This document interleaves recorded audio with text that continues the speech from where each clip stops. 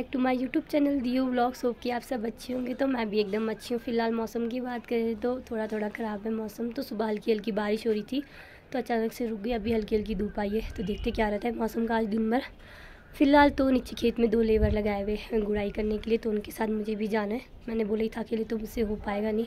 तो मुझे किसी ना किसी को तो बुलाना ही पड़ेगा। तो मैंने सोचा लेबर को ही बुला लेती हूँ। तो बस दो लेबर नीचे लगे हुए गुड़ाई करने के लिए। तो मैं तो अभी अभी जाके फारिग हुई मन्नत को स्कूल छोड़ के। तो अब जाऊँगी मैं उनको फटाफट से ब्रेकफास्ट वगैरह लेके लेबरों को। देखते क्या रहता है आज पूरा दिन में। फ़िलहाल मैं ब्रेकफास्ट लेके जा रही हूँ तो इसमें बूरियाँ हैं और इसमें सब्ज़ी है तो चाय तो लेके आई नहीं क्योंकि मेरे पास हाथ ही नहीं था और एक एक से तो ब्लॉग भी बनाना था ना। तब इसीलिए बस चाय और सब्ज़ी और पूरी लेके जा रही हूँ, टिप्पन में ही लेके जा रही हूँ। कोली में ले जाके जाती तो नीचे पहुँचते पहुँचते गिर जाता हर कहीं। तो मैंने सोचा से लेके जाती हूँ। फ़िलहाल अब दोबारा ऊपर जाऊँगी चाय लेने के लिए। तो एक बार चलते फटाफट से कहीं ऐसा ना हो कि मेरा पूरा ब्रेकफास्ट गिर जाए। फिर दोबारा बनाना पड़ेगा मुझे। फ़िलहाल मैं ऊपर जा रही हूँ घर में पानी लेने के लिए, क्योंकि मैं पानी लेके नहीं आई। दिमाग पता नहीं कहाँ रहता है मेरा। पहले पानी लेके आनी था हाथ वगैरह धोने के लिए मुझे। बेचारों को मैंने बिना पानी के खाने दे दिया। तो फ़िलहाल मैं अभी वापस जा रही हूँ घर की और पानी और चाय लेने के लिए। तो चलती हूँ एक बार ऊपर। ब्रेकफास्ट वगैरह हो चुका है और फटाफट से अब काम पे लगते हैं। अब मैं भी इनके साथ काम करूँगी, क्योंकि फटाफट से ख़त्म करना, अगर आज भी ख़त्म नहीं हुआ तो कल भी यही काम के लिए रहना पड़ेगा। तो मौसम कल से बहुत ज़्यादा ख़राब है तो कल से बारिश है तो आज इस काम को ख़त्म करना पड़ेगा फटाफट से। बाकी जुड़े रहिए, आप मेरे साथ ऐसे ही देखते हैं। अब ये काम कब ख़त्म होता है? पाँच छः तो बज ही जाएगा शाम के। बाकी जुड़े रहिए, आप मेरे साथ ऐसे ही।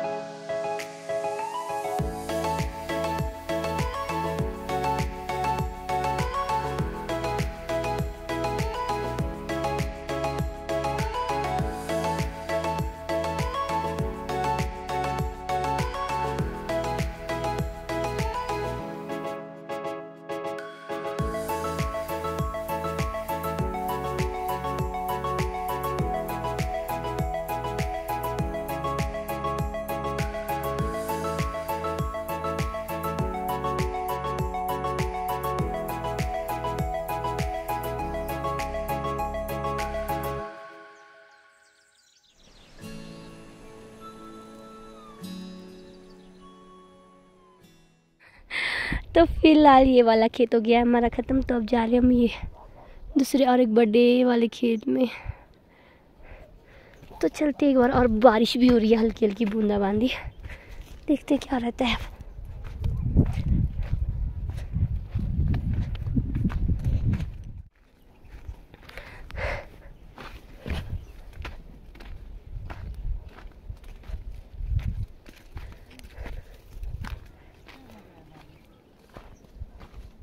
इतनी तेज़ बारिश हो रही है ना, और टाइम की बात करूँ तो दस छप्पन हो रहे तो हमारे दो खेत तो वैसे भी ख़त्म हो चुके हैं, और सबसे बड़े वाले खेत में आए थे हम करने के लिए। तो इतनी बारिश हो गई आगे स्वेटर तो पीछे से पूरा गीला हो गया, पहले से थोड़ी हल्की हल्की बारिश हो रही थी, और अभी तो इतनी तेज़ बारिश हो गई है। तो मैं तो अभी पेड़ के नीचे आगे बैठ गई हूँ थोड़ी देर के लिए। कि देखते क्या रहता है आगे का ही भगवान, बारिश नहीं होनी चाहिए, ज़्यादा काम आता रह जाएगा आज भी। फिर कल भी इसी काम में रहना पड़ेगा। तो इस खेत पे पहुँचते समय इतनी तेज़ बारिश होगी ना, अभी तो ये बहुत आगे तक जाएगा, इतना बड़ा खेत है, फिर इससे ऊपर ऊपर और है, बाकी यहाँ से नीचे वाले खेत तो ख़त्म कर दिए थे हमने। तो मैं आ चुकी हूँ ऊपर घर में, क्योंकि इतनी तेज़ बारिश हो रही थी, मेरा स्वेटर वगैरह गीला हो चुका था। तो फटाफट से स्वेटर वगैरह बदलने आई, मैंने सोचा कहीं मुझे फिर से मैं बीमार ना हो जाऊँ और छाती जाम ना हो जाए तो मैं ऊपर घर आ गई। बाकी आंटियाँ तो माने नहीं ऊपर आने को, वो तो वहीं पेड़ के नीचे बैठ के रह गई, शॉल वगैरह लाया था उन्होंने तो शॉल वगैरह उड़ के वो नीचे ही रह गए। तो मैं तो आ गई ऊपर घर में। तो अब इतना ऊपर आई हूँ तो मैंने अच्छा खाना वगैरह बना लेती हूँ, खाना वगैरह बना के फिर दोबारा जाऊँगी नीचे। और जैसे ही मैं ऊपर आई, अब मैं जैसी स्वेटर वगैरह बदल के थोड़ी सी बैठी हूँ तो बाहर बारिश रुक गई। पता नहीं क्या हो रहा है इस बारिश को। आज लगता नहीं है ये पूरा काम ख़त्म करने देगा। बारिश थोड़ी थोड़ी देर में बारिश आ रही है, फिर रुक रही है, फिर बारिश आ रही है, फिर रुक रही है। पता नहीं देखते आगे क्या रहता है। वैसे चाहती तो यही हूँ कि आज पूरा काम ख़त्म हो जाए, क्योंकि कल के लिए फिर और भी काम रहता है। ना कि देखते क्या रहता है। जुड़े रहिए आप मेरे साथ ऐसे ही। तो फ़िलहाल मैं दोबारा से खेत जा रही हूँ। तो बारिश तो फिर भी ऐसी हल्की हल्की आ ही रही है। तो मैंने सोचा चल के ही जाती हूँ और थोड़ी देर। नहीं तो ये खेत ख़त्म नहीं होगा। बाकी जाती हूँ बेचारे भी नीचे खेत में ये कब से लेकर। मैं तो थोड़ी देर अभी तक घर में ही बैठी थी। बाकी चलती हूँ फटाफट से खेत। बाकी देख सकते हैं, बेचारे अभी तक भी बारिश में भी कर ही रहे थे गुड़ाई ऊपर आने तो माने नहीं है। तो कितनी मेहनत करनी पड़ती है हमारे को मटर में, एक बार गुड़ाई करना पड़ता है, इसमें शायद एक दो बार तो करना ही पड़ता है, अभी करेंगे फिर दोबारा भी। फिर उसके बाद जाके इसमें पानी लगाना पड़ेगा कहाँ बहुत बार। फिर कुछ बीमारी होगी तो फिर स्प्रे करना पड़ेगा तो कितना मेहनत करना पड़ता है हमें। बाकी देखते हैं अब आगे का क्या रहता है, मिट्टी भी एकदम गीला हो चुका है। तो मैं भी कर लेती हूँ फटाफट से क्योंकि ये बड़ा खेत तो ख़त्म ही कर ख़त्म करना पड़ेगा। उसके बाद जाके ये हम खाना खाने जाएँगे। बाकी यहाँ से ऊपर तो बाकी सारे छोटे छोटे खेत हैं और फटाफट से कर लेते हैं आप later. एवरीवन गुड आफ्टरनून तो टाइम की बात करूँ तो अभी एक तीस हो रहे और मतलब कि खेत पूरा ख़त्म हो चुका है करके तो हम खाना खाने जा रहे हैं। तो अब अभी जाके यार ख़त्म किया हुआ है हमने।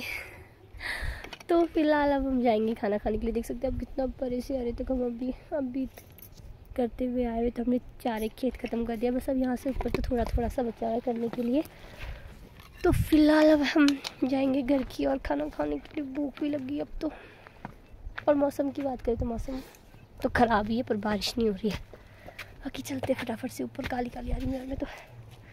2000 years later एवरीवन तो लंच वगैरह हो चुका था हमारा तो उसके बाद कुछ भी ब्लॉग नहीं बनाया क्योंकि उसके बाद मैं नीचे खेत ही नहीं गई क्योंकि उसके दो तीन ही खेत थे जो बचे हुए थे तो वो आंटी यहीं चले गए। मैंने सोचा मैं यहाँ पे अब बर्तन वगैरह धो लेती हूँ, झाड़ू वगैरह मार लेती हूँ, क्योंकि मैंने सुबह कुछ भी नहीं किया था। मन्नत को तैयार करने का सीधा मैं ब्रेकफास्ट लेके नीचे चली गई थी, नीचे चली गई थी तो मैंने झाड़ू वगैरह कुछ मारा नहीं था तो मैंने सोचा यही कर लेती हूँ मैं अब।